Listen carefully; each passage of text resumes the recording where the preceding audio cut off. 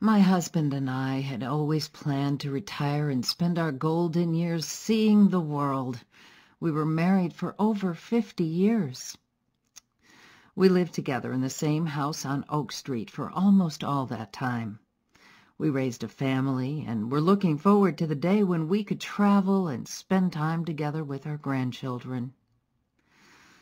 After he retired, I started to notice that Jim would get short of breath when working around the house, and he needed to stop for frequent breaks. Eventually, he started having difficulty with just breathing and ended up in the hospital, where we found out that his symptoms were caused by something called mesothelioma. We'd never heard of mesothelioma. He underwent chemotherapy and surgery and then had even more chemotherapy to try to stop the disease.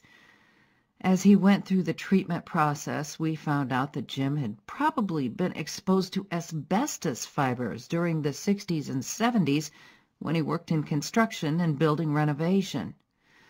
That's what led to his developing mesothelioma, but we never knew back then that he was at risk. Jim remained courageous and hopeful throughout his illness, but two years after his diagnosis, he passed away at 70 years old.